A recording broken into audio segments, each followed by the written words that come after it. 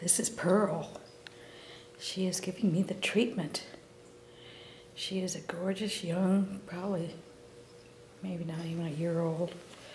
She's been spayed and declawed, front declawed, is a flame point Siamese. And she is very loving and beautiful.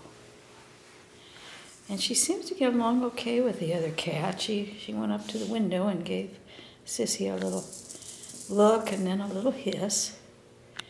But uh, she's a very beautiful kitty. Look at her. She's just a sweetheart. She's a sweetheart. She is available for adoption. If you are interested, contact Fabulous Felines. NWA at gmail.com and say you're interested in Pearl.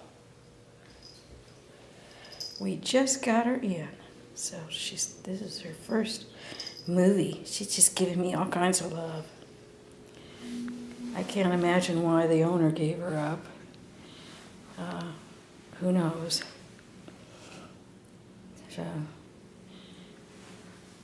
She was with a batch from the Fayetteville, uh, from the Rogers shelter, of all places. And so we, at the uh, spay neuter clinic, and so I scooped her up and brought her here.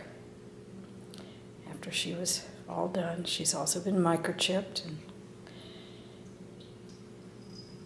up to date on shots, vaccinations.